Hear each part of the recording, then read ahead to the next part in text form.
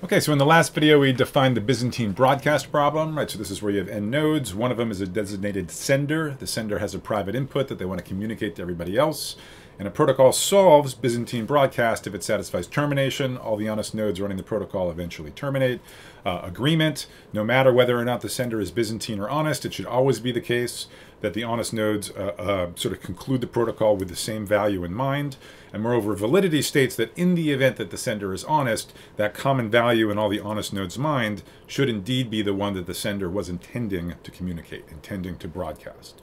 And what we saw in the last video is that that's actually all we need uh, to solve um, the SMR problem, state machine replication, uh, in the presence of faults under our other assumptions, right? So under our assumptions that we're in the synchronous model, PKI, and the permissioned setting. So now it makes sense to turn our focus squarely on this problem of designing a fault-tolerant protocol for the Byzantine broadcast problem. So that's what we're going to start doing in this video. Now, I'll give you actually a complete solution to the problem in the next video. That's the Dolev-Strong protocol. If you want to, you can skip this video and move on to that one without loss of continuity. But to be honest, uh, the main reason I'm covering the Dolev-Strong protocol, you know, is not so much because I really want you to know exactly how it works, but really because this is the right gateway to getting a feel for how consensus protocols work, including in sort of more complicated models with weaker assumptions about network reliability. So in that spirit, in the spirit of just you know building up your muscles, developing intuition about what the challenges are, this video will also uh, serve that purpose uh, very much. All right, so, so Byzantine broadcast, right, it's easy if f equals zero. If you're sure that everybody's honest, then basically the sender can just send whatever they have to say to everybody. Everybody can just believe them. But we also saw that even when f equals 1, okay, that trivial protocol is not good enough. Because if f equals 1, for all we know, the sender is Byzantine and sends different information to different nodes. So intuitively, what we're going to need to do to handle the f equals 1 case, in particular the possibility of a dishonest sender, is the honest nodes are going to have to do some additional cross-checking. They're going to have to compare notes and give each other some information about what they heard from the sender. So here's maybe the simplest possible protocol that uh, makes use of that idea. As always, when we write down a protocol, we mean what it is that honest nodes do. Again, Byzantine nodes, they can just throw out this protocol and do whatever they like. So let's call the first time step t equals zero, uh, and the natural way to start is by having the sender, who after all has this private input they want to communicate, uh, sending that value to all of the other nodes. And remember from lecture one, our default assumption, which unless otherwise noted, when one node sends a message to another node, the sender will sign it cryptographically. Remember that we're only trying to solve Byzantine broadcast under the same assumptions we already imposed on state machine replication. So in particular, we're assuming that crypto exists and the PKI assumption. So all of the nodes know a priori everybody's public keys. So the next time step, time uh, t equals 1, right? So if you have an honest sender who really sent these messages at time 0, because we're in the synchronous model, at that point we know all of the nodes have received those messages by the beginning of time step 1. And this is the step in which the nodes are going to compare notes. So they're going to basically just tell each other what it is they heard from the sender. Okay, so specifically, they will be echoing the message the sender sent them. And remember, that message was signed by the sender. And then when you echo the message, you sign it yourself, right? So you attest to the fact that this is the message that you received from the sender. All right, so the next time step is going to be the last one, t equal 2. So at this point, the protocol, all of the nodes are going to be responsible for figuring out their final output. So imagine you're an honest node, node number 7, running this protocol, trying to figure out what to output. Uh, sort of two trivial cases, right? If you're the sender and you're honest, just output V star, right? You know the answer, you knew it up front. Uh, if you're a, a non-sender, uh, but you've only ever heard, you've only ever seen messages that reference a single value V star, output that, right? Why would you ever output anything you've never heard of? So the only hard case is when, first of all, you're a non-sender, and second of all, different messages you've seen refer to different values. Like some of them refer to value v1 and some of the others refer to value v2. And now you have to decide which of those two things you want to output. And there's various ways you could do that, but maybe the most natural way would be by majority vote. Get to output the value that you've seen the largest number of messages for. So specifically, you have one vote from the sender, the message they sent you directly. Really, I guess I should say you have at most one vote from the sender, right? Maybe they're a Byzantine and they didn't send you a vote at all. If they send multiple votes, you can just ignore all but the first one. So you have at most one vote from the sender, and you have at most one vote from the other n minus two non-senders. Again, maybe you have one less because maybe some Byzantine node didn't tell you their vote. But in any case, you have this collection of votes up to perhaps n minus 1, uh, and then you just output the most frequently referred to value, the most frequently voted for value among those uh, n minus 1 or less votes. There might be a tie, in which case you should just break it in some consistent way. Like, for example, for the alphabetically smallest of all of the values that are mentioned. So that's the protocol, right? Pretty simple. I mean, the sender is just supposed to send out their value to everybody, and then the non-senders compare notes. And they resolve any ambiguities that arise from the, those votes by doing a local majority vote. And I claim that this protocol actually solves the problem, okay, in the sense that, you know, as long as f is 1, there's a most one Byzantine node. In fact, this protocol satisfies both validity and agreement. And of course, obviously, it satisfies termination. It terminates at the end of time step 2.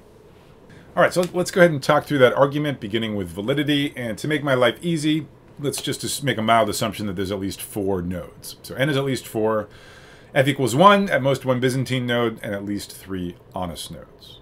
Now, don't forget the validity condition. Like, if there's a Byzant if there's a Byzantine sender, we're totally off the hook. Validity asks nothing of us in the event of a Byzantine sender. We only have to worry for validity about the case of an honest sender. So, suppose the sender is honest, follows the protocol. That means at times t equals zero, it's going to send a vote for its private input v star, which, because we're in the synchronous model, will be received by all of the non-senders uh, at the beginning of time t equals one. Now at time t equals 1, all of the non-senders compare notes, okay? or at least the honest ones echo to all of the other nodes what they heard from the sender. So now we have to argue that every single honest node outputs the correct value, outputs the sender's private input v star. Now, remember we're assuming that the sender is honest, and so just by definition of the protocol, the sender will of course output its own private input, so we're not worried about the sender. So we only have to worry about an honest node that is a non-sender. Okay, so one of the non-senders may be Byzantine, but n minus two of those are going to be honest non-senders. So think about the votes that are going to be collected by an honest non-sender. So from the honest sender, they're going to get a vote for the sender's private input V star, and from the other n minus three other honest non-senders, they're going to get honest echoes of the honest sender's um, vote for V star.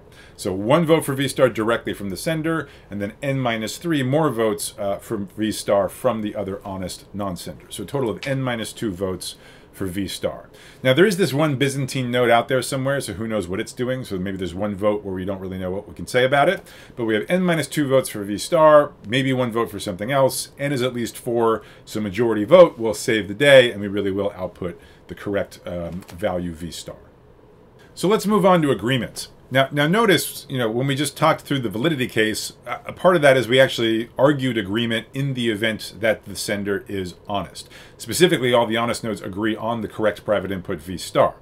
So all we need to prove is we need to consider the presumably the hard case of agreement when there's a Byzantine sender. Now remember, f equals 1. There's at most one Byzantine node. So if the sender is Byzantine, it means all of the non-senders are honest. So now when we get to time step one, the good news is that only non-senders send messages at time step one, and all of the non-senders are honest. Remember, we're assuming that the sender is Byzantine and that f equals one, so that means all of the non-senders have to be honest.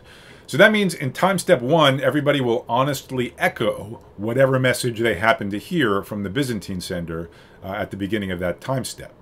And so what that means is that when we get to time step two, at the beginning of that, all of the non-senders will have in their possession exactly the same information, exactly the same uh, number of votes for every possible value. Basically, uh, you know, the n minus one honest non-senders just pooled all of their information, all of the messages that they have received from the leader. So because all of those non-senders will have exactly the same information, the same number of votes for every value, all of them decide on their final output in the same way by majority vote with consistent tie breaking. So indeed, all the honest non-senders will output exactly the same thing, okay, which is exactly what is required for agreement. All right, so this is kind of a nice thing, right? We came up with a protocol. It's still pretty simple. It's pretty intuitive. Uh, but at least when there's most one Byzantine node, we have what we want. We have uh, both validity and agreement. Now, what's going to be, you know, equally instructive is to see why this protocol does not work, is not correct when f equals 2, when we have the possibility of two Byzantine nodes, in particular, the possibility of collusion between a Byzantine sender and a Byzantine non-sender. So let's see that counterexample in detail in the next slide. So specifically, I want to show you a violation of agreement. So the protocol on the previous slide, run verbatim, uh, does not satisfy agreement in the case that f equals 2. So here's how it's going to work. Okay, so there's n nodes total. Let's assume that n is even for simplicity. There's at most two Byzantine nodes. Let's assume that the, the sender is Byzantine and also one non-sender is Byzantine. And then sort of conceptually in our minds, the other n minus 2 honest nodes, we're going to split into two groups of equal size, of size n over 2 minus 1 each. And what this counterexample is going to make clear is that when you're working with Byzantine faults, you even have to deal with the case where all of the Byzantine nodes are, you know, in effect conspiring to ruin your protocol. And so let's let's see how that can happen in this particular case. So time step zero, right, we've got this Byzantine sender, it can do whatever it wants. It's going to do exactly what you would sort of expect it to do, given that the goal is to sort of break the protocol's agreement. It's going to send inconsistent messages to the honest non-senders. In particular, it'll send half of them zeros and half of them ones. Now, this by itself, right, is not sufficient to be a counterexample, kind of for the argument that we saw on the on the previous slide, right? If this was the whole story, this is all that happened, well, then all of these magenta non-senders, they're all honest, so they're all going to echo the messages that they heard from the sender, and then at the beginning of time step two, they're all going to know exactly what votes they got from the sender. And they'll know it's equally split, uh, half of them for zeros, half of them for ones. They all break ties in majority vote in exactly the same way. For example, maybe favoring zero over one in the event of a tie. So they're all going to output exactly the same thing. So if this is going to be a counterexample, it has to use the fact that f equals 2 rather than 1, and that there's a second uh, Byzantine node, which you know is going to be a, a non-sender. So somehow the non-sender has to sort of screw up the fact that all of the honest nodes seem in sync. And here we're going to really see how, you know, sort of conspiracy between the Byzantine nodes can be sort of very powerful. So imagine, right, I haven't written what the sender has written, has sent to the non-sender, right? And because it could be anything. So let's imagine that the, the Byzantine sender sends to its comrade, the Byzantine non-sender, it actually sends it two votes, okay? A signed, a signed version, uh, a signed vote for number zero, and a signed vote for number one. Okay? Now, if this was an honest non-sender, it would just throw out the second vote, right? It would just ignore everything but the first vote. But this is a this is a Byzantine non-sender, so it's going to go ahead and collect both of these votes that the Byzantine sender sent it.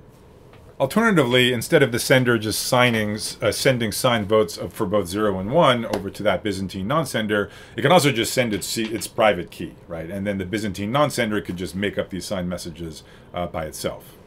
Point being is that now, uh, at the beginning of time step one, the Byzantine non-sender has in its possession, okay, both a message signing voting for zero and a message voting for one, both signed by the sender. And it's now in a position to again send inconsistent messages to the honest non-senders. So it's going to forward on the the vote for zero to the left blob of honest non-senders, and it's going to forward on the vote for one to the right blob of honest non-senders.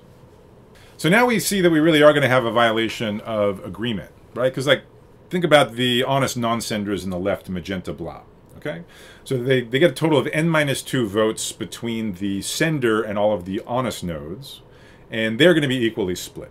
Okay, n over 2 minus 1 votes for 0, n over 2 minus 1 votes for 1. The tie-breaking vote is the one that comes in from the Byzantine non-sender.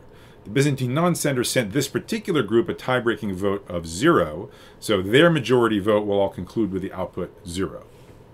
Meanwhile, the right magenta blob, you know, again, between the sender and the honest nodes, they get this equal split, n over 2 minus 1 votes for both 0 and 1, but now the tie-breaking vote coming in from the Byzantine non-sender is for 1. And so that's going to tip the majority vote and force that right blob uh, to output one, which of course is a violation of agreement because we have two sets of honest nodes outputting different things. All right, so a, a, few takeaways from this counterexample. Okay, so takeaway number one is just I hope this has sharpened your intuition. The Byzantine nodes can really do bad stuff by conspiring with each other. And a lot of protocols that seem reasonable are actually broken because Byzantine nodes have sort of very clever strategies to exploit it. Okay, so that's number one. Number two is that, you know, even if you have a protocol that happens to be correct, right, and we'll definitely see an example coming up next, even if it's actually correct, it may be very difficult to prove convincingly that it's correct. Again, just because the space of sort of strategies for Byzantine nodes is so rich. You have to rule out all of them uh, to actually prove correctness of a consensus protocol. Takeaway number three is this is going to sort of segue into the general solution we give in the next video, the Dolev-Strong protocol.